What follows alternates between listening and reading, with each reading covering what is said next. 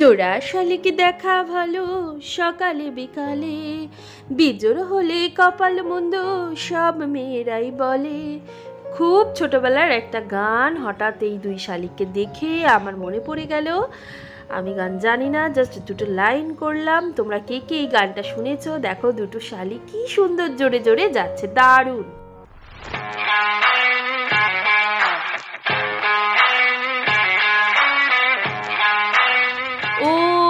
विश्वरूपस्य भर्जासि पद्मे पद्मलये शुभे सर्वत्र पाहि मम দেবী মহালক্ষ্মী নমস্তুতে সামান্য কিছু আয়োজন করেছি পাঁচ রকম ভাজা বাটা ডাল সাথে আছে মাংস আর রয়েছে পায়েস এই সামান্য আয়োজনটুকু কার জন্য সঙ্গে থাকো দেখতে থাকো happy birthday to you happy birthday খাও আর রিভিউ দাও। ডাল ভাজা দিয়ে শুরু করো।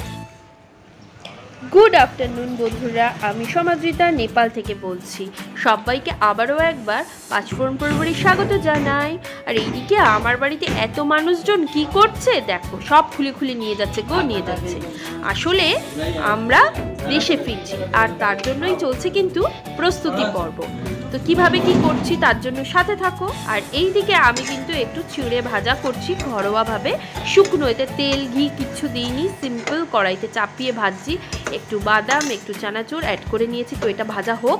আর এই বাইরে দেখো বাইরে দেখো সব এই দাদারা সব নিয়ে যাচ্ছে। সব অফিসেরই লোক, আমার হাজব্যান্ডের ওরাই সব সামান তুলে নিয়ে চলে যাচ্ছে। আমার ঘর বাড়ি এখন বিধ্বস্ত আমার ঘর বাড়ি তো পুরো বিধ্বস্ত আর আমরা এদিকে চলে এসেছি কিন্তু ফুচকার দোকানে। আমার ছেলে ফুচকা খাচ্ছে আর এখন আমি পুরোটা করছি মুখে যারা ছেলে ফুড ব্লগিং করে এবং যিনি ক্যামেরাতে বন্দি করে তার কতটি কষ্ট। হয় যেমন আমি ফুচকা দোকানের সামনে ফুচকা না খেয়ে মোবাইল হাতে আমি ছবিটা তুলি তো সত্যি ভীষণ কষ্ট হয় আর আমি যখন ফিল ফিল করি বাড়িতে কাজ করাটা মোটেই এত সহজ নয়। আমি এদিকে কুকারে কিন্তু গোটা গরম মশলা ফোড়ন দিয়ে আমি কিন্তু পেঁয়াজ ভেজে নিয়েছি এবং তার মধ্যে দিয়ে দিয়েছি বাসমতি চাল আর আগে থেকে আলু আর ডিম ভেজে রেখে দিয়েছিলাম। সেটাও কিন্তু আমি আস্তে আস্তে অ্যাড করে দিচ্ছি এবং শেষে অবশ্যই দিয়েছি বাজারের কিনে আনা বিরিয়ানি মশলা। তো এবং অবশ্যই আছে ঘি, একটু আছে গোলাপ জল, সমস্ত কিছু যোগে এবং পরিমাণ মতন জল দিয়ে দিলাম। কুকার এবার বন্ধ করে দেব। আর সিটি পড়ার মাত্রই নামিয়ে নিয়েছি। এই যে আমার রেডি হয়ে গেছে কিন্তু হোমমেড আলু ডিম বিরিয়ানি। খেতেও দারুণ হয়। আহা হা হা হা দারুণ গন্ধ বেরিয়েছে। ওকে, ডিনার শেষ করে আসছি। অনেকক্ষণ পর চলে এলাম বন্ধুরা সামনে। এতক্ষণ ডিনার করছিলাম, তো ডিনার কমপ্লিট। ডিনারটা জাস্ট ওয়াও হয়েছে। সত্যি বাড়িতে থাকা যখন ঘরে সেরকম অর্থে কিছু না থাকে বা চট জলদি খাবার রান্না করার দরকার থাকে, তাহলে খুব ইজি এই মেথডটা, আলু ডিম বিরিয়ানি। এটা এমনিও খাওয়া যায় এবং চাইলে এর সাথে আরও অনেক কিছু অ্যাড করেও খাওয়া যায়, যেরকম লাইক রায়তা বা মাংস এগুলো দিয়েও খাওয়া যায়। তো আজকে আমি রায়তা খাইনি, যেহেতু রাত্রেবেলায় খেলাম, তো দেখতেই পেলেন। আর দুপুরবেলায় যেহেতু একটু মাংস ছিল, তো ওই আলু ডিম বিরিয়ানির সাথে মাংসটা আমরা সকলে শেয়ার করে নিয়েছি। খুব বেশি ছিল না একটুখানি ছিল। তো সেটা দিয়ে আমরা সেই সব মিলিয়ে সবটা খেলাম। পেঁয়াজ ছিল, তবে বিরিয়ানিটা খেতে দারুণ হয়েছিল, ভীষণ লাইট একটা বিরিয়ানি। মোটেই খুব একটা বেশি অয়েলি নয় এবং প্রচুর ঘি নয়, প্রচুর মশলাদার ছিল না। আমি অত মশলা দিয়ে বা অতনি ঘি দিয়ে খুব একটা বানাই না। তো খেতে দারুণ। আর আজকে সারাদিন না ভীষণ ক্লান্ত হয়তো আমাকে দেখেই বোঝা যাচ্ছে অনেকটা আমি বিধ্বস্ত। কারণ সকাল থেকে আজকে একটার পর একটা কিন্তু ছিল। তারপর আজকে সবাই দেখতেই পেলেন আমার ঘরের সমস্ত আসবাবপত্র আজকে যখন চলে গেল, আমার ঘর কিন্তু প্রায় ফাঁকা, বুঝতেই পারছেন এইখান, এইখানটাতেই আমার বেডটা ছিল আর এখানেই বসে আমি রীতিমতন ভিডিও করি বা কথা বলি। তো সেটা আজকে নেই। তো আজকে রাত্রেবেলা আমরা কোথায় শোবো বেড ছাড়া? তো দেখিয়ে দিই, এই হচ্ছে আমার বিশাল একটা বিছানা। তো আজকে আমার হচ্ছে গড়ের মাঠের বিছানা, যেখানে আজকে আমরা ঘুমাবো। বেশ মজা লাগছে ফিল হচ্ছে কিন্তু। যখন আমাদের বাড়িতে কোনো অনুষ্ঠান হয়, সবাই মিলে একসাথে নিচে বিছানা করে শুই, আজকে খানিকটা সেই রকমই ব্যাপার। তো যা যেরকম যখন যেমন পরিস্থিতি, ঠিক সেই পরিস্থিতিতে নিজেকে মানিয়ে গুছিয়ে নেওয়াটাই কিন্তু বুদ্ধিমানের কাজ। এটা আমি শিখেছি আমার বাড়ির বড়দের কাছ থেকে এবং আমি নিজেও সেটা ভীষণভাবে মানি, তো সেটাই আমিও কর- করলাম। আর এই যে জোগাড় করে নিয়েছি সাইড টেবিল টেবিল কিছু নেই ওই দিকে একটা টুল রেখে দিয়েছি আর এই পোর্শনটাতে আমার ছেলের ওই যে দেখাই যাচ্ছে মানে ইয়েগুলো রেখেছি, বই খাতা আর একটা হাত পাখা রেখে দিয়েছি। কারণ এখন যদি কারেন্ট চলে যায়, কারণ ইনভার্টার সব খোলা হয়ে গেছে। এত সব খোলাখুলি, এত সব তোড়জোড় কিসের? হ্যাঁ বন্ধুরা, আপনারা ঠিকই ধরেছেন। সব কিছু তোড়জোড় চলছে। অ্যাকচুয়ালি দেশে ফেরার জন্য আমরা অলরেডি প্রস্তুতি নিয়ে নিয়েছি। এইবার সময় চলে এসেছে নেপাল ছেড়ে যাওয়ার। নেপালকে টাটা বলার। তবে হ্যাঁ এখনই যাচ্ছি না। এখন আমি আরও কিছুদিন আছি নেপালে। তো যে কদিন থাকি, সে কদিন অবশ্যই আমি নেপালের সুন্দর সুন্দর কিছু শেয়ার অবশ্যই করব আপনাদের সাথে। তবে কি বলব মানে কবি খুশি কবি গম। মানে যাচ্ছি, যাওয়ার একটা আলাদাই আনন্দ। যাই বলুন, তাই বলুন যে আমরা যারা বাইরে থাকি, প্রবাসী বাঙালিরা, আমরা প্রত্যেকেই সেটা মানি এবং জানি।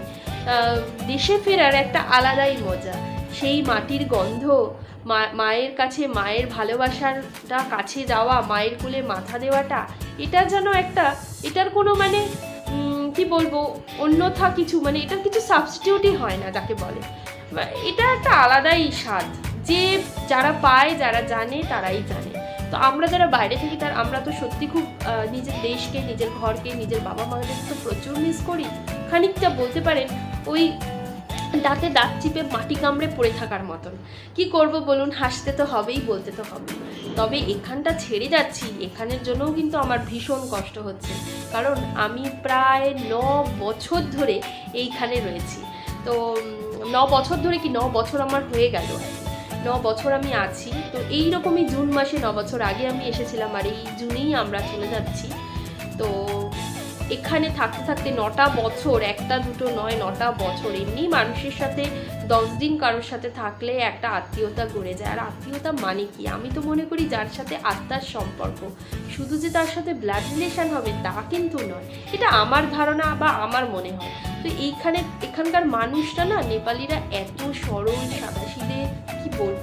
ভীষণ পরোপকারী, ভীষণভাবে। তো আমি সব গল্প অবশ্যই শেয়ার করব। আমার মানে সেই দু হাজার চোদ্দোতে যখন ভূমিকম্প হয়েছিল দু হাজার চোদ্দ না সরি সরি দু হাজার পনেরোতে যখন ভূমিকম্প হয়েছিল, সেই সময় কিন্তু বন্ধুরা আমি কিন্তু এই নেপালেই ছিলাম। তো সে একটা দুর্দান্ত এক্সপিরিয়েন্স আমার সেসব একদিন আমি অন্য একদিন গল্পে অবশ্যই শেয়ার করব আস্তে আস্তে। তবে এখন তো যেহেতু চলে যাব, তো যাওয়ার যে যতটা আনন্দ, সাথে কিন্তু দুঃখটাও রয়েছে। ওই বলে না কথায় যতটা আনন্দ, আনন্দের সাথে একটু তো দুঃখ থাকে। অবশ্যই এই দুঃখটা, এই স্মৃতিটা হয়তো সারা জীবন মনেই রয়ে যাবে। আর আজকের ডেটে সত্যি মনে হচ্ছে ভাগ্যিস আমি ব্লগিং চ্যানেলটা খুলেছিলাম। এই চ্যানেলটা আমি খুলেছিলাম বলে আমি বেশ কিছু স্মৃতি কিন্তু আমার ক্যামেরা বন্দি আমি করতে পেরেছি। অনেক অনেক কিছু। হয়তো আরও আগে করলে আরও ভালো হতো আরও সুন্দর সুন্দর সব কিছু আমি স্মৃতিটা রেখে দিতে পারতাম। যাই হোক দেরি হয়ে গেছে বলে আমি নিজেকে দোষ দেব না। সব কিছুই একটা সময় থাকে হয়তো। এই সময়টা থেকেই আমার জীবনে এই মোড়টা আসার ছিল। তবে ছেড়ে যাওয়ার দুঃখটা অনেকখানি। যাওয়ার আনন্দটাও যতটা, সাথে কিন্তু ওই একটু দুঃখও রয়ে যাচ্ছে। এখানের মানুষদেরকে যখন আমি জানালাম, আমার আশেপাশে, আমার ওইখানে যাদেরকে আমি আন্টি বলে ডাকি মানে নেপালিতে হুজুর আমা, হুজুর মানে আমা মানে হচ্ছে ঠাকুমা, তো তা, তাদেরকে বলি মানে সেই সম্পর্কও রয়েছে। আপনারাও দেখেছেন আমার ব্লগে তো সেই মানুষগুলোর চোখে না আমি জল দেখেছি। তাদের সাথে আমার কোনো আত্মীয়তা মানে ব্লাড রিলেশান নেই। কিন্তু না, তারা আজ যখন আমার ঘর থেকে জিনিস চলে যাচ্ছে সব কিছু চলে যাচ্ছে, প্রত্যেকে আসছে, আমি কোথায় শোবো, কোথায় খাব, কি করব, আমি নিচে বিছানা করছি, আজকে সবাই বলছে, তুমি আমার বাড়ি চলে এসো। ইনফ্যাক্ট আমি যে বাড়িতে থাকি, যার বাড়ি উনি তো এখানে থাকেন না, উনি কাঠমান্ডুতে থাকেন। উনিও ফোন করে বলছেন যে, তুমি এক কাজ করো, উপরের ফ্লোরে চলে যাও, আমার রুমের বেডে চলে যাও। এই যে ভালোবাসা সব থেকে বড় পাওনা, তারা বলছে, তুমি চলে যাবে, তুমি কিন্তু বিরাটনগরকে ভুলো না, তুমি কিন্তু আবার ফিরে এসো এখানে। এবং এখানে এলে নেপালে যখনই তোমরা ঘুরতে আসবে, কখনোই তোমরা কিন্তু হোটেলে থেকো না। তোমরা না আমার বাড়িতে থেকো, এটা তোমার বাড়ি। এই যে এত বড় পাওয়া মানে কি বলব, এই ভালোবাসাগুলো না মানে খুব খুব ইমোশনাল হয়ে গেছে। খুব ইচ্ছা করছে মানে হাউ হাউ করে কাঁদি। হ্যাঁ কিন্তু কাঁদতে পারছি না। কাঁদতে পারছি না। মানে সবসময় তো কাদা যায় না। ক্যামেরার সামনে কাদাটা তো ঠিক লাগে না না? মানে আমি কথাগুলো বলছি, আমি জানি আমার মনের ভিতরটা কি হচ্ছে। তো ভাবলাম, বন্ধু তো, এটাও তো আমার একটা পরিবার। আমার মনের কথা তো আমি শেয়ার করতেই পারি, তো সেটাই করলাম। আমার আশেপাশে আরও সব নেবাররা রয়েছে প্রত্যেকে। প্রত্যেকে বারবার আসছে, বারবার সব কিছু বলছে। আর ওরা প্রত্যেকে ভীষণ ইমোশনাল হয়েছে। সবাই বলছে, তুমি চলে যাবে? কেউ বলছে, চকটা ফাঁকা হয়ে যাবে? মানে কি বলব? আমি, আমার মানে সবাই বুঝেই গেছেন, আমি একটু কথা বলি বেশিই কথা বলি, একটু জোরে হাসি। তো একটা সময় মনে হতো এগুলো হয়তো মানুষ পছন্দ করে না, তবে হ্যাঁ এগুলো অনেক মানুষই পছন্দ করে। তো আমার মনে হয় হাসা, কথা বলা প্রতিটা মানুষের সাথে ভালো সম্পর্ক রাখা, এটা খুব দরকার। কি আছে জীবনেই তো আমরা এখানটা ছেড়ে চলে যাচ্ছি। এতগুলো বছর এখানে কাটালাম, এতগুলো দিন আমি কাটালাম, আমার সুখ, আমার দুঃখ সব রকমই গেছে। বিভিন্ন স্টেজ দিয়ে পার হয়েছি। প্রচুর বাধা এসেছে, বিপত্তি এসেছে মানে অনেক রকম সমস্যা হয়েছে। বুঝতেই পারেন বাইরের দেশে রয়েছি, একটা বাচ্চাকে নিয়ে কত রকম শরীর খারাপ হয়, অনেক কিছু বাড়ির চিন্তা। কিন্তু সব কিছু এক, আস্তে আস্তে তো ওভারকাম করেছি এবং প্রত্যেকটা মানুষ আমাকে সাথ দিয়েছে, প্রত্যেকে আমার সাথে থেকেছে। তো এই জন্য আজকে না আমার মানে ঠিক ভালো লাগছে না। এটা ভালো লাগছে যে আমি দেশে ফিরছি, বাড়িতে ফিরতে পারছি, ঘরের মানুষ ঘরে যাচ্ছি। হুম, নেপাল থেকে। তো এটা খুব, খুবই ভালো লাগছে। জানি না আবার নতুন ডেরা কোথায় হবে, তো নতুন জায়গা হবে আবারও। নতুন কোথাও থেকে হয়তো আমি এখন যেটা বলি, গুড মর্নিং বন্ধুরা, আমি সমাদ্রিতা নেপাল থেকে বলছি। এই বলাটা হয়তো আর কটা দিন পর চেঞ্জ হয়ে যাবে সেই গুড মর্নিং বন্ধুরা, আমি সমাদ্রিতা অমুক জায়গা থেকে বলছি। তো কোথা থেকে বলছি, না বলছি সেটা থাক সারপ্রাইজ তার জন্য অবশ্যই আমার ব্লগ দেখতে হবে এবং কি করি, না করি, কীভাবে যাই, কবে যাই সেগুলো অবশ্যই শেয়ার করব। সাথে থাকতে হবে। আজকে আর অন্য কোনো গল্প আর করলাম না। আজকে কিছুটা গল্প। আমি আমার নিজের মনের গল্প মানে মনের কিছু কথা আমি শেয়ার করলাম। জানি আজকে হয়তো আমার বন্ধুরা আমার গল্প বলা, যেটা আমি গল্প বলি, যেটা সবাই ভীষণ ভীষণ পছন্দ করেন। প্রথমে ভাবতাম এই গল্পগুলো হয়তো আপনারা পছন্দ করবেন না। তারপর দেখলাম না, প্রত্যেকে আমাকে অনেক ভালোবাসা দেন আমার গল্প শোনার জন্য। আমার গল্প থেকে আপনারা অনেক কিছু শেখেন। লাইফটা একটু কম হচ্ছে, কিছু করার নেই, অনেক কিছু খুলে টুলে নিচ্ছে। তো যাই হোক সেটা আর হলো না আজকে। তো এইভাবেই সঙ্গে থাকুন, পাশে থাকুন এবং দেখতে থাকুন। তো আজকে আমি সমাজিতা বিদায় নিচ্ছি। আবারও দেখা হচ্ছে নতুন একটা ব্লগে নতুন একটা দিনে, নতুন একটা ভিডিওতে।